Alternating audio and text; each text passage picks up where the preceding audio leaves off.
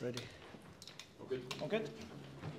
Steve, you told us uh, yesterday not to doubt your players. How pleased the, are you with the way they dug in and ground out a, a draw against a very good side tonight? Yeah, good. Uh, obviously, the point was important for us after the work we've put into the, the group to get off the mark is, is nice. So, yeah, Nations League off and running.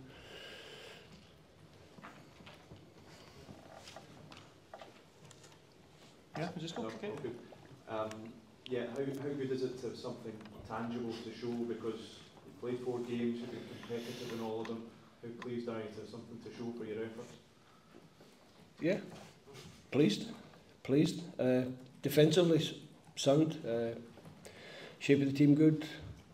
Denied a lot of space behind, which Portugal played a lot in front of us. Uh, good concentration in the box, determined defending at times. Some some really good blocks, which you have to do against a team like Portugal. And then when you need when you need a couple of big saves, your goalkeeper's there to do it as well. So everybody contributed to what is a, a well-earned point.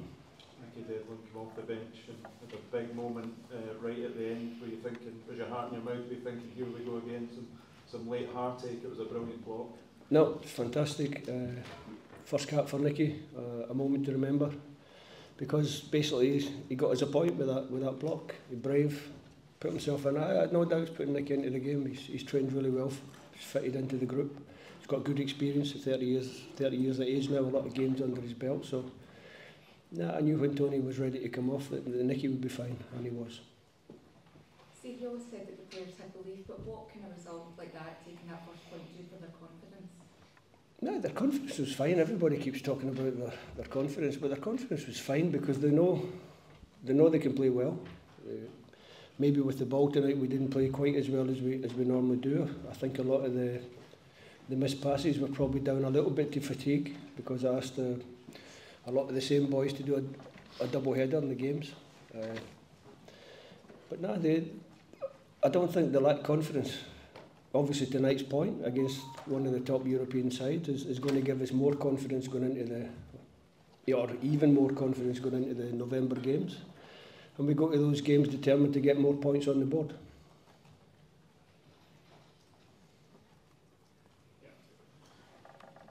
Hi Hi. Um, I mean, only 18 years old right now, and he was born when Cristiano Ronaldo started his first ever game for Portugal as well. He put in a very impressive performance tonight at Hampden Park. What were your thoughts on his performance tonight? Ben? Yeah. Good for, for such a young man to, to be asked to go again. It was, was a decision where I was weighing up my mind whether to keep Ben for 30 minutes at the end, like maybe like Roberto did with Leao. But for me, he did so well in the, the game on Saturday that I thought it was better to start him and then see how long he see how long he took before he got too tired and then I had to take him off. But the, the changes that, that we made also helped the team a lot. And with your change of system potentially going back to a back five, could you see him playing as a second striker with Che Adams as well, or would you just see as a wing in installation tonight? That's a discussion for the future. It's probably not a discussion for tonight. Steve, is this performance after the a uh, turning point for the team? It's obviously been a difficult run, but you, saw the belief, you saw the togetherness of the team out there. That feels like this is you turned the corner in a sense. I think that togetherness has always been there. I don't think so much about t- turning a corner. I, I just think about working hard every time we come together to, to try and get points and, and be successful as, as a nation. That, that's what the boys want to do every time they come here. They, they work ever so hard to, to not let their country down, and you, you see that tonight. Eh, you've seen, I think we've all seen over the last few games, you talked about it in, in Croatia, just bit by bit, getting back to where you want to be. You, you've always bought in the players. Do you feel as if, like to the fans tonight, buying more into rather than being down about stuff, we'll starting to get back up again? I don't know. I don't know because I don't really, I don't really look at fan reaction or I look at the reaction of my players. Uh, that, that's that's all I base it on my, my, myself, my staff, my players. Obviously, if the team's picking up points and, and doing well and playing well, the fans will be with us. The fans are the fans have always been with us. I, I don't I don't doubt the supporters. There were definitely nervous, so I think we're just the team taking so many late blows in recent games that we're almost thinking, is it going to happen again? So, did, did you feel that, or did the players feel that? Obviously, the players didn't feel it because they, they just dug in and, like I say, they ground up ground out a really good point for us. Yeah, the fans can be nervous in a game like that when the opposition have so much possession in front of you. You're always thinking that they're going to create a big, big chance. When they did create the big, big chance, Craig made the save, which is first time in a long time I've celebrated a goalkeeper save. I was standing talking to John and actually celebrated it. So, so it meant a lot to me and it meant a lot to everybody in the stadium because that's what gets you the point. You have to. We, we spoke before the game about doing all the dirty stuff, the hard work, the, the ugly stuff, if you like, and the boys did that fantastic tonight. Last couple, please. Steve, you spoke after the Finland game back in June and said you wouldn't be surprised if, if you saw Craig Gordon back in the in the Scotland side and Lobo. He's, he's back and uh, probably got you the, the point tonight to save at the end. What does his performance in, in these two games tell you about him and how much he has to offer the country going forward? What I've always said about Craig, ultimate professional, uh, determined to play as long as he can. And, and you see that tonight with his performance, still performing at a very high level for, for his club and, and now for his country again. So now we're delighted to have him back in the squad.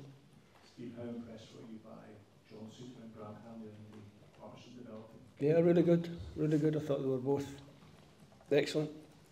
John obviously playing every week with Rangers, so a little bit more fitness. Uh, Grant, you have to give credit, not playing at Norwich, but comes here and puts on two performances like that over the over the two games. But I think defensively, you have to credit everybody. Tony Ralston, good against difficult opponents. Jota and then Leal comes off, and I think Leal coming off the bench was what ultimately done for, for Tony's calves. it was just why Nicky got on the pitch. Uh, Andy always steady away. Uh, like I've, spoke before about Andy, he, he does a he does a great job for the team, and I thought the midfield three in front were excellent. Billy Gilmour, Kenny McLean, and Scott McTominay, which which gives you that basis to to defend well. Steve, you said your players did the kind of dirty side of the job well when they had to, they kept the structure, they created opportunities. Does that even make this feel even more significant in terms of this, this point against that opposition? Uh, I think we always try and do the right thing. We always try to be solid defensively. Recently, we've had one or two little lapses in, the, in certain moments in the game that cost you dear against this type of team. So tonight, maybe at times we got a little bit fortunate, but nobody can deny us the fortune eh, because we've worked, we've worked ever so we've worked ever so hard to get that, that little break that, that maybe one or two missed chances for Portugal thinking they could have scored. But now we worked hard to get to earn the breaks and well deserved point. Okay. Steve, just before you go, can I just ask you away from the game your reaction to Thomas Tuchel from the next England manager? I don't really have one. I'm Scotland manager, so maybe if we play them in the future, I'll, I'll talk about Mr. Tuchel. Okay, thank you all. Thank you. Thanks, Steve. Thank